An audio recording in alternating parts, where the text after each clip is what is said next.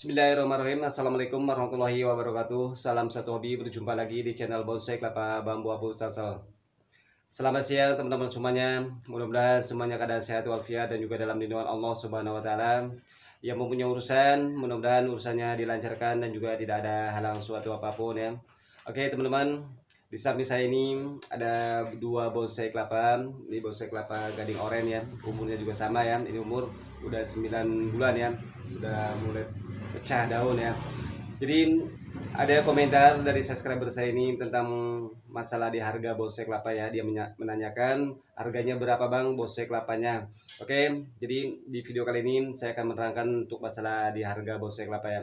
Oke teman-teman sebelum saya menerangkan semuanya cara mendetail ya. Jadi di bonsai kelapa ini emang harganya bervariasi ya dan juga itu tergantung di umur juga Oke, dukung channel ini dengan cara share ya sebanyak-banyaknya dan juga bagikan ke media sosial teman-teman semuanya supaya channel ini bisa berkembang. Ya, mudah-mudahan channel ini bermanfaat ya untuk teman-teman kita di sana, ya terutama untuk para-para pemula atau yang baru bergabung membuat bonsai kelapa ya. Oke, teman-teman, ikutin terus videonya, jangan skip-skip, tonton sampai habis. Baik, teman-teman, ya di sini ada bonsai kelapa gading oranye. Ini umurnya udah 9 bulan. Jadi untuk menentukan masalah di harga jadi terutama untuk masalah di umur ya.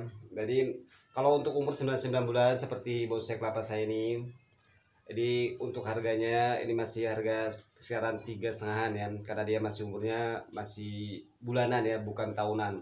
Kalau udah lebih di atas satu tahun ya ini bahkan bisa harga lima ratusan ya nah, di sini juga bisa menentukan juga ya untuk menentukan masalah di uh, harga supaya dia tinggi yaitu dengan masalah penampilan ya ya ini terutama uh, untuk masalah di pot ya ini contohnya seperti ini. Uh, pot ini saya masih menggunakan pot plastik ya nah setelahnya kalau kita diganti dengan pot yang lebih bagus ya dengan harga ini tiga setengah tapi uh, kalau kita udah diganti dengan pot yang lebih bagus dan juga lebih keren ya nah ini bisa um, menang apa meningkatkan masalah di harga juga ya. Masalah harga bisa naik juga ya. Jadi contohnya seperti ini ya. Jadi contohnya seperti ini. Tadi umur sama ya. Umurnya sama seperti tadi ya. Uh, cuma dia beda di pot ya. Dia potnya masih pot plastik. Nah perkiraan ini kalau misalkan udah diganti pot seperti ini dengan uh, gaya pot uh, emang buat bonsai ya. Uh, ini udah uh, umurnya kan sama dia ya uh, eh, 9 bulan. Tapi untuk masalah di harga ini pasti dia akan berubah drastis ya. Dari harga tiga setengah ini bisa bahkan uh, harganya bisa mencapai 500 sampai 600an ya. Karena udah potnya diganti ya. Jadi pot juga ini bisa menentukan masalah di harga ya atau bisa menaikkan harga di bonsai kelapa ya. Walaupun umurnya sama dan juga uh, bentuk posisi dan gayanya bonsai kelapanya juga sama ya. Jadi untuk harga jadi artinya ada saling kesepakatan ya. Kesepakatannya ini bisa juga bonsai kelapa ini harganya lebih mahal ya daripada uh, apa yang kita pikirkan ya. Karena bonsai kelapa ini harganya ya sengganya ini agak terselubung ya. Kalau emang itu orang suka uh, jangan untuk masalah di harga 500 ribu ya satu juta pun dia akan bayar ya karena dia suka dan juga dia hobi ya. Apalagi udah diganti potnya ya lebih lebih bagus ya daripada tadi yang pakai pot plastik ya. Jadi ini teman-teman eh, yang berkomentar untuk masalah di harga. Jadi kita untuk menentukan di harga bonsai kelapa ini ya tergantung masa di umur ya kalau umurnya udah satu tahun ke atas yaitu harganya sekisaran mas uh, harga 500 ribuan ya. Tapi kalau masih belum uh, pecah daun semua atau mas baru belajar ya seperti ini ini sebenarnya ya harga tiga setengah atau empat ratus ya masih uh, bisa ya kita jual ya. Jadi untuk teman-teman yang baru bergabung membuat bonsai kelapa jadi di bonsai kelapa juga ini sangat apa ya sangat menguntungkan juga ya dengan kita kerajinan kita dan juga keteladanan kita bahan banyak ya di mana pun ada. Artinya kita bisa membolang ya dengan kelapa kering satu kelapa kering kita uh, berkreasi di bonsai kelapa. Ini ada ya ada untungnya juga ya. Artinya dari barang yang tidak berguna jadi berguna ya seperti ya bosek kelapa ini ya ini sebenarnya awalnya bos uh, kelapa ini ya tidak ada artinya apa apa ya kalau kita belum uh, melalui proses ya. Tapi setelahnya udah kita proses bikin bosek kelapa dengan waktu yang lumayan lama ya. Jadi udah ada harganya juga. Jadi uh, untuk teman-teman yang baru bergabung membuat bosek kelapa ini sangat menguntungkan ya kalau kita untuk berbisnis di bosek kelapa ya sebenarnya ya. Tapi uh, dengan penuh kesabaran kita ya jadi intinya modal kita harus sabar dan juga terutama ya harus hobi dulu ya. Sebelum uh, sabar kita harus hobi dulu. Kalau tidak hobi ya ini kayak mustahil ya. Kita bisa membuat bosek kelapa ya. Karena di bosek kelapa ini prosesnya sangat panjang ya. Supaya kita bisa mendapatkan bosek kelapa uh, kita jadikan seperti ini ya. Ini perlu program akar belum uh, program masalah di daun ya terus dibatok juga supaya lebih bagus lebih indah ya dipandang matanya. Jadi di bosek kelapa ini sangat panjang ya prosesnya. Jadi letak untuk uh, harga mahalnya bosek kelapa ini ya sebenarnya uh, ini masalah di proses ya. Karena pembuatannya yang agak lumayan lama ya. Satu pembuatannya lama dan juga kita harus uh, hobi juga ya kalau tidak hobi ya tidak mungkin ya bisa jadi bonsai kelapa ya. Karena dari kelapa kering yang tidak berguna kita ciptakan menjadi bahan yang istimewa ya seperti bonsai kelapa ini. Nah jadi ini teman-teman yang mudah-mudahan uh, dengan adanya keterangan ini yang berkomentar di kolom komentar uh, khususnya untuk subscriber saya yang pernah berkomentar katanya harga bonsai kelapanya berapaan sih bang? Nah jadi ya ini untuk menentukan di harga di bonsai kelapa ini ya satu poinnya uh, untuk masalah di umur ya. Kalau umur lebih tua lebih mahal. Dan untuk masalah penampilan.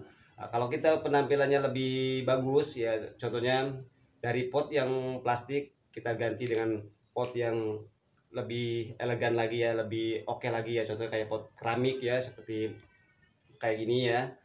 Uh, ini bukan keramik ini uh, pot semen ya. Tapi penampilannya lebih beda daripada pot plastik ya. Jadi ini bisa juga uh, ada daya tariknya untuk masalah di harga ya. Jadi harganya bisa lebih tinggi ya.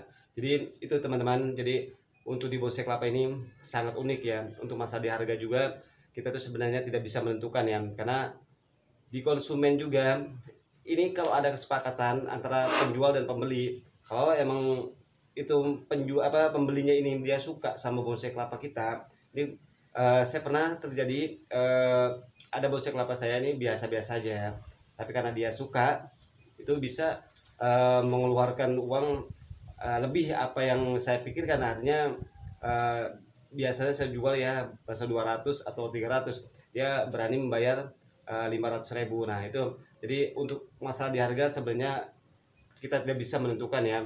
Karena konsumen ini dia suka atau tertarik masalah di bawah kelapa kita itu berapapun dia akan bayar ya karena dia suka. Jadi di bawah kelapa ini sebenarnya kita tidak bisa menentukan untuk masalah harga ya. Tapi ini saya e, menerangkan ini cuma sekedar sekilas untuk ini aja ya untuk e, perbandingan aja bahwa untuk di harga di bawah kelapa ini ya sebenarnya lebih tua e, bawah kelapa kita ini sebenarnya lebih mahal ya. Dan juga untuk masa penampilan ya. Kalau penampilannya oke okay, bagus rapi dan juga di masalah pot juga udah uh, udah memadai ya. Itu bisa juga me, apa meningkatkan masalah harga bonsai kelapa itu sendiri ya. Baik teman-teman mudah-mudahan dengan ada keterangan-keterangan ini ya, untuk subscriber saya yang bertanya tentang masalah harga bonsai kelapa ini ya mudah-mudahan uh, bisa mengerti ya artinya bisa paham bahwa bonsai kelapa ini sebenarnya tidak bisa ya untuk kita tentukan dengan harga sekian sekian ya. Itu tergantung uh, sepakatan ya kesepakatan antara penjual dan pembeli juga ya. Tapi di sini ada perbedaannya dan berarti untuk masa penampilan ya. Semakin uh, oke okay, penampilan di bonsai kelapa ya itu pastinya akan harganya juga akan lebih tinggi juga ya. Jadi di kelapa ini intinya satu untuk masalah di umur ya. Kalau umur lebih tua atau udah tua banget ya udah lama dah bahkan itu pasti akan ada harganya. Yang kedua untuk masalah penampilan ya. Untuk masalah penampilan di masalah di pot ya. Jangan menggunakan pot plastik kalau emang itu mau kita jual ya supaya supaya penampilannya lebih oke okay lagi ya. Karena pot juga sangat pengaruh ya. Kalau pot plastik itu walaupun bonsai kelapa kita bagus atau udah tua bonsai kelapa itu untuk harga ya atau daya tariknya itu kurang ya. Bisa-bisa uh, walaupun bonsai kelapa itu udah tua dan juga udah pecah daunnya udah full ya itu harga juga pasti akan apa ya akan rendah ya. Karena melihat di masalah di potnya ya masih pot biasa atau pot plastik ya. Jadi untuk di pot juga itu terpengaruh juga ya pengaruh besar juga ya untuk masalah di harga ya. Oke teman-teman mudah-mudahan keterangan-keterangan saya tadi ya bisa uh, paham ya dari harga-harga masalah di bonsai kelapa ya. Jadi supaya subscriber kita juga supaya tidak penasaran ya dengan harga-harga bonsai kelapa ya. Karena di bonsai kelapa ini ya sebenarnya emang ya, tadi udah saya bahas bahwa harganya ini sangat terselubung ya. Jadi ya mudah-mudahan uh, saya juga mengajak ya untuk teman-teman yang baru bergabung membuat gosek kelapa ya supaya membuat gosek kelapanya ini lebih semangat lagi ya. Artinya di gosek kelapa ini kita untuk berbisnis juga sebenarnya bisa ya. Kalau emang itu uh, mau berbisnis ya silakan silakan aja. Karena di gosek kelapa ini sangat menguntungkan ya untungnya sangat besar ya. Karena kita dari kelapa kering nih kita menciptakan dari kelapa kering kita ciptakan bikin bonsai ya dengan penuh kesabaran dengan penuh proses yang lama. Nah, terjadilah bonsai seperti ini. Nah, ini udah ada harganya ya. Padahal kita kelapa kering ini kalau kita membolang ya itu tanpa biaya artinya kita gratis ya. Tapi dengan penuh proses lama uh, terciptalah seperti ini bonsai kelapanya ya. Jadi harga dari bonsai kelapa ini bukan masalah di kelapa keringnya ya. Ini kita prosesnya ini dan juga uh, untuk masalah jiwa-jiwa seni kita ya. Karena ini kita berkreasi ya dikreasi di kelapa kering bisa menjadi seperti ini itu dengan proses yang sangat panjang ya. Jadi di sinilah kita untuk bisa menghargai di bonsai kelapa uh, itu sendiri ya. Oke teman-teman saya ucapkan terima kasih. Mudah-mudahan video kali ini bermanfaat ya untuk saudara semuanya ya terutama yang berkomentar ya tentang masalah harga bonsai kelapa. Mudah-mudahan paham ya. Dan juga saya minta maaf kalau saya menerangkan uh, kurang jelas atau uh, kurang mendetail banget ya.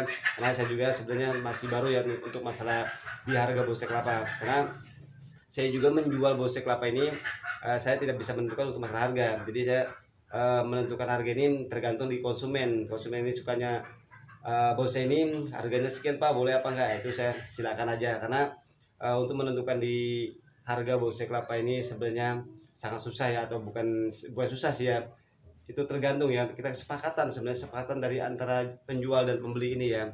Oke saya ucapkan terima kasih. Mudah-mudahan video kali ini bermanfaat dan juga untuk para para pemula supaya lebih semangat lagi membuat bonsai kelapanya ya, mudah-mudahan video kali ini suka ya. Kalau suka share ya sebaik-baiknya ke media sosial teman-teman semuanya supaya channel ini bisa berkembang. Karena channel berkembang ini berkat dukungan saudara-saudara semuanya. Saya iri video ini salam kopi tanpa gula dari sebuah kelapa menjadi saudara. Assalamualaikum warahmatullahi wabarakatuh